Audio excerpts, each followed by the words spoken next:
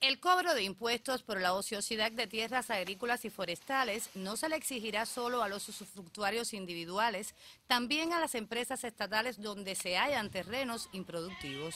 Según las últimas estadísticas, en Cienfuegos existen más de 13.000 hectáreas ociosas, fundamentalmente en los municipios de Cumanayagua, Abreus y Aguada de Pasajeros.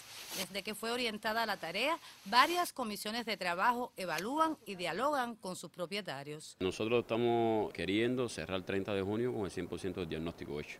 Ya tenemos comisiones, se está evaluando semanal el trabajo, se está caminando el terreno, se está certificando, porque a partir de esa certificación es que entonces nosotros después vamos a proceder eh, con al cobro de la sociedad de la tierra. Hemos prácticamente concluido todo el cronograma de preparación en los municipios, terminamos el próximo martes en Cumanayagua y hemos estado identificando que eh, el sector estatal debe ser el mayor obligado al pago de este, de este impuesto en la provincia de Cienfuegos. Según directivos de la agricultura, cerca de 9.000 cienfuegueros deberán pagar el nuevo impuesto. Ha venido un tanto a despertar y a motivar a los productores porque también entienden o ponen la tierra en explotación o las pueden perder incluso y tienen que pagar un impuesto sobre por no ponerla en explotación. No creo que haya habido rechazo a la medida. Primero porque no, no son altas cuantías las que hay que pagar pero sí hay una identificación de la responsabilidad que tiene cada cual y lo que le corresponde hacer.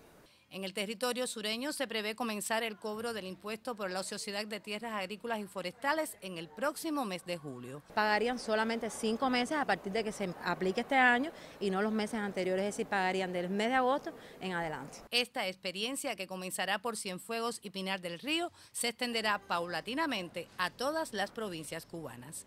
Damaris Leiva Feijo, Notisur.